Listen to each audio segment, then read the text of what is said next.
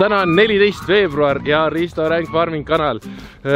teate, ilmad on olnud halvad, aga ma ei ole mollutanud niisama, sellepärast et mina olen siis teinud vahepeal vutipuure ja vutipuuri raamid mul on uhkusega, saan öelda, vutipuuri raamid on koos.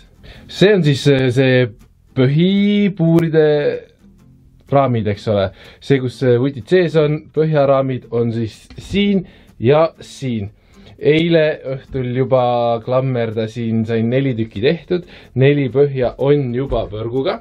siit näete, et võrk on ka see äär ja siis see teiselt poolt sama äär tuleb siis relaga maha saagida, aga seesama, mis siin on, selle me lõikame ilusti sirgeks, osadel on natuke, natuke nagad, aga teistel ei ole.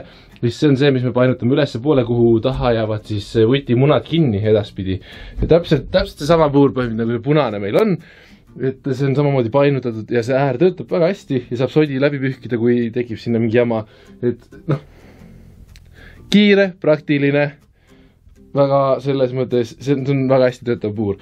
nii et äh, täna ma proovin nüüd veel siis äh, klammerdada need kaks puuri raami, põhjaraami, mis meil on, võrguga ära ja siis vaatan, siis teen lõuna ja siis tõenäoliselt ma jõuan lõigata ka nende külgede peale ja taha ja peale võrgud ära ja siis klammerdan neid ka kinni ja vaatan, palju me jõuame lihtsalt. aga vutipuur juba, juba valmib. selle võrgu siia kinni laskmine ei ole tegelikult üldse, noh, see ei ole keeruline töö muidugi. aga niisugune noh, nokkimine. et ma alustan alati ühe, ühest servast siis, niinimetatud eh, puuri tagumine serv. et lasen ühest äärest natuke kinni. ja siin tuleb siis jälgida seda, noh, ütleme nii, et ei tule, aga mulle meeldib jälgida seda, sest mulle meeldib, et äh, kõik võrgud saavad üpris pingesse. mulle nagu meeldib, kui puurid on tehtud niimoodi, et see põrk on tugevasti kinni ja siis on minu jaoks kohe hästi. et see tähendab seda, et esimese külje ma lasen nagu siit suhteliselt tugevasti kinni just niimoodi, et ma saaksin siit sikutada ja ma sikutan siis igast vahepostist seda külge pingesse siit.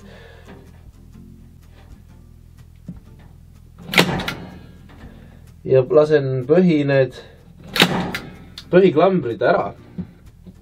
a la kolm tükki, mis hakkavad nagu seda kinni hoidma, siis hiljem lasen neid juurde. aga see point on see, et, et saaks selle pingesse ära siia ja alustangi sealt taguküljest, kõigepealt see, siis üks äär, siis keskelt, keskelt viimane äär ja siis eestpoolt. et äh, ja mina olen leidnud, et sihukeste peenete võrkude jaoks kõige paremini töötab üks tummine kahvel ja kahvel sellepärast, et et piit saab panna läbi mitme võrgu selle silma. et kui te panete näiteks kruikeere läbi ja sigutate, siis kipub see keevitusest naksti lahti tulema aga kui te panete kahvli, siis saab panna läbi mitme võrgu silma selle. ja see annab automaatselt talle kohe nii palju seda pinda juurde. kus ta nagu toetab. ja kui ta toetab, siis on automaatselt ju see, et. siis on automaatselt see, et tal on nagu jõu, jõudu nii palju rohkem see võrgul, eks ole. et ma ei saa ta nii kergelt puruks tõmmata et see on nagu hästi siukene, ma olen kunagi katsetanud ja teinud igast asjadega, proovid sa pingesse, igast leiutad mingeid vahendeid, et tõmmata pingesse. aga lõppkokkuvõttes igast nurgast natuke kahvliga ja töötab väga hästi. aga just, et see, kuidas nüüd oli, klambripüstoli selle, kustkohast klamber täpselt välja tuleb, et see äär leida ülesse, on alati kõige keerulisem koht kohati selles mõttes, et praegu ka mõni ikka läheb mööda, sest ma tahan ta panna just täpselt nii äärde kui vähegi võimalik. aga need, mis lähevad kortsu, läheb metalli vastu, need ma sikutan välja lihtsalt. et sellest ei ole ka midagi.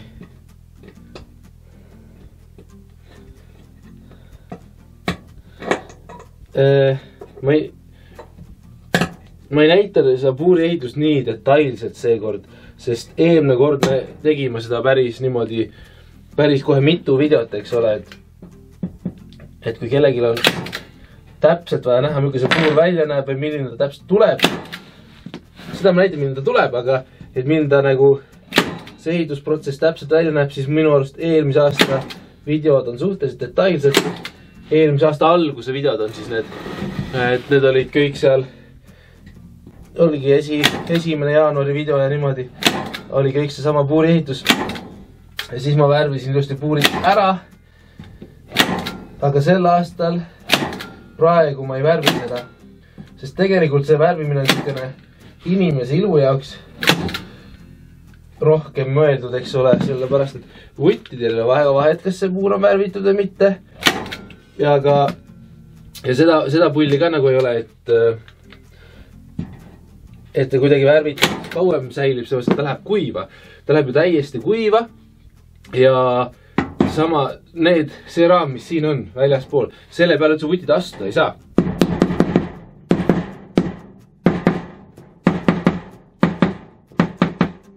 sellepärast, et sise, see puuri enda raam võrdub sissepoole. seega need, need liistud jäävad kõik nende poolt tallamata. Ja alati ma muidugi löön igaks juhuks. ma ei tea, kas see on vajalik. aga ma igaks juhuks löön alati haamriga need klambrid üle. tegelikult on niimoodi, et kui kui ma paneksin puuri, puuriraamile võrgu ka väljapoole ja nad saaksid kõndida selle liistu peal ka, siis ma tõenäoliselt kasutaks mingeid suuremaid kruve, sellepärast et kui happeline vuti väljaheide kukub selle klambri peale, siis see klamber tegelikult mädaneb päris ruttu ära. et, et sellepärast on ka üks väga suur pluss panna klamber just või see puurivõrk sissepoole siis selle liistule. natuke kaotate ruumi küll, aga see on seda väärt selles mõttes, et äh, hiljem peab see puur väga palju kauem vastu. nii, ja nüüd ma lähen siis siit külje pealt. siit ühe lõksu ära tõmbame. tõmbame siit sirgu ära.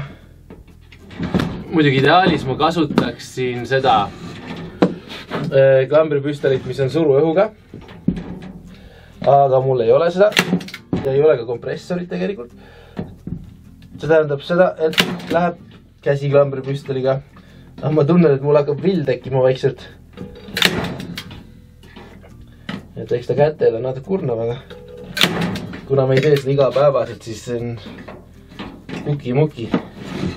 mul on hea meel teatada, Facebooki inimestele, kui keegi, kes kasutab Facebooki, kes mitte, aga Facebookis on nüüd Risto Ränk Farmingu lehel ka olemas niinimetatud online pood, kus saab reaalselt eh, põhimõtteliselt tellida meie tooteid.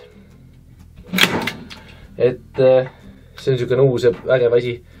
Mulle meeldib, tundub põnev, ma ise ei ole nagu seda niimoodi vaadanud veel, pildid on veel halvad, aga tegeleme sellega. varsti peab hakkama tooteid ilusti pildistama. et sinna tõenäoliselt läheb üles nii savi kui kõik need munatooted, mis, mis meil pakkuda on. et äh, natuke vaikselt ikka are, areneb see värk. Meie põhirõhk ikkagi selle muna koha pealt on, on ja jääb ikkagi sellele purgimunale. et me tahame, meie tahame pakkuda ikkagi rohkem seda valmis toodet, kui kui see, et me toorest muna müüme. müüme ka, aga toorel munal ei ole seda, ütleme nii, et kasutegurid tegelikult väga sees, et, et äh, ikkagi suured korporatsioonid suudavad toota muna nii palju odavamalt, et see on muidugi arusaadav. üritame siis leida sellist oma nišši, et äh, proovime teha valmistoodet nii hästi, kui me oskame ja saame. ja purgimuna saadame ilusti üle Eesti ka, ka pakiautomaadiga, kui vaja on. ja täpselt samamoodi keraamikat. Nii et sinna hakkab vaikselt minema siis tooteid ülesse, mis on lahe. nii, kõik põhjad on tehtud, üks, kaks, kolm, neli, viis, kuus. kuus põhja on olemas, ei lähe neid täna saagima, aga võtan ette pigem nüüd need puurid ja panen võrgu ära siis ühele küljele. teisele küljele võrku ei tule, kui te mäletate, siis siia tuleb söötja ja söötja läheb täiesti, katab selle külje ära põhimõtteliselt, tulevad ainult augud. Seega ühele poole tuleb võrk ja teisele poole söötja. nii, ühesõnaga toimetan siis äh, täna ka, enda kasvuhoones, kui ma panin selle laua, eelmine talv ma tegin ka kasvuhoones, kui oli halb ilm, kui te mäletate, et äh, teha sellele niinimetatud dušikabiinile siis see iluliist, noh, nii, niivõrd-kuivõrd iluliist, tegelikult on ka väga praktiline väärtus seal, et ta nagu täidab riiuli rolli terves selles dušinurgas, mis on nagu ülimõnusa kõrguse peal ja tegelikult väga praktiline. et äh, toimetan siis sellega seal kasvuhoones ja saagsin nupid valmis, üllataval kombel seda plastikliistu saab väga hästi järgmist aega saagida, ta ei sulata, ta lõikab väga edukalt. muidugi selle jaoks peab olema saetera terav ilusti, et ta lõikaks, mitte ei sulataks ja paningi siis äh, kruvidega kokku selle pulli, et äh, kindlasti tuleb auk ette puurida nagu puidul, aga see plastik on, avastasin, üpris habras selles mõttes, et äh, kui auku ees ei ole, siis ta läheb lõhki, täpselt nagu puit. et väga puidu sar- sarnaselt käitub. aga muidugi ei mädane, see on nagu väga suur pluss ja boonus, miks ma teda siin üldse panen. et äh, kruviaugud puuriga ette, suurema puuriga ma versengin siis äh, kruvi pea jaoks ka koha ja siis lasengi kruvid kokku, et äh, see on niimoodi, et loogilises mõttes ta võib minna täiesti kokku ära ja siis saab sellega minna ukse alt sisse ja laks paika ta vajubki, sellepärast et need tünni ääred on kumerad ja vajuvad nagu natuke sissepoole, siis ta peaks vajuma gravitatsiooniga täiesti paika sinna ise, täpselt nii nagu talle meeldib, kuidas tal mugav on. et äh, ma panen siis äh, peale ühe liistu ja siis ehk tekib sihuke L-kuju, et ette tuleb ka, et ta varjaks ära siis selle ääre ilusti, see on nagu puhtalt praktiline, nagu noh, ilu, iluvärk on ju, selles mõttes, et seda koledat äärt ei jääks näha sinna aga samas ta hoiab ka seda pealmist liistu siis täiesti sirgena. ehk siis L on nagu väga, väga tugev asi, mida taga ajada ja ääre tegemise jaoks tegelikult täpselt ainult kaks liistu ja need tegelikult, kui nii võtta praeguse seisuga ei olnud üldse nii kallid, nii et väga-väga edukas, et puiduga samas hinnas avastasin.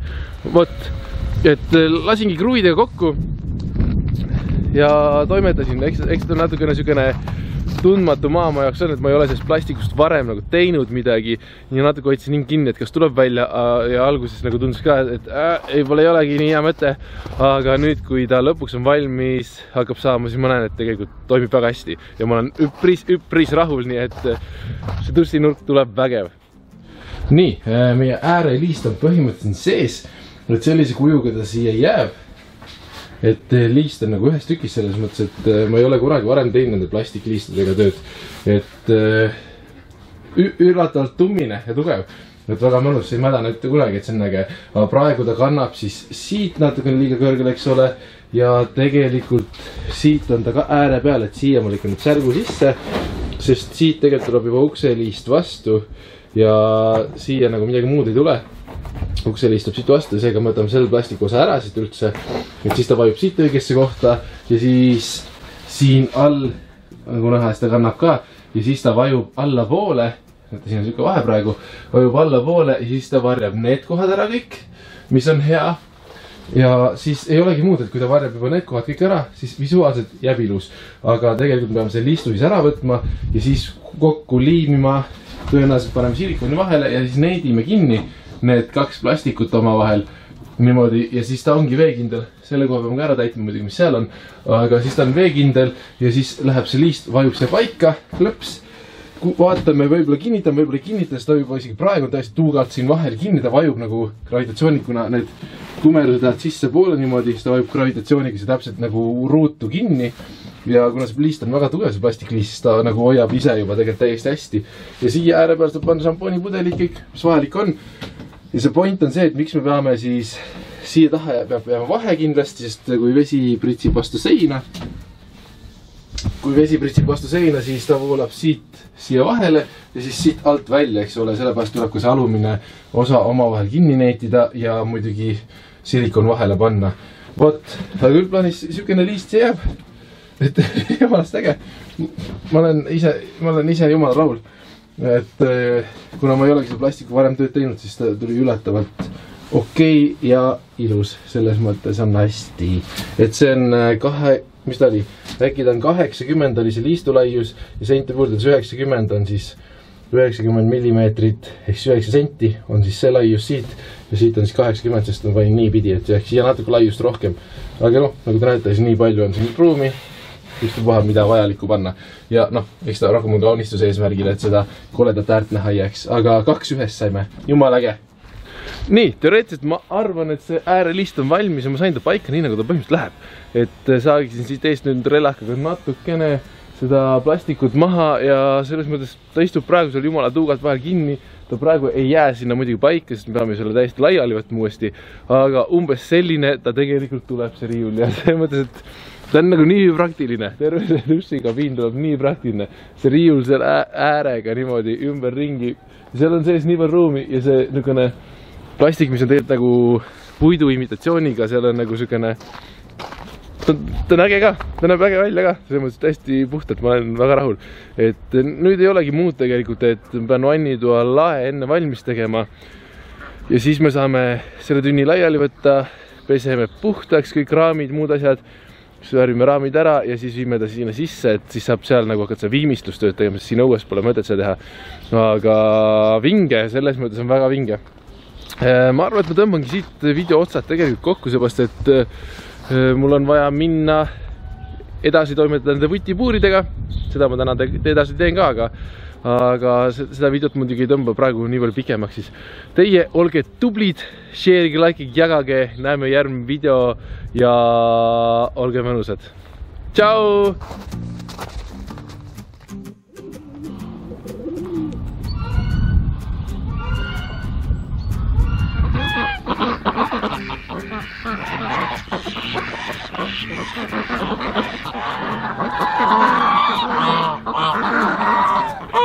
Ah!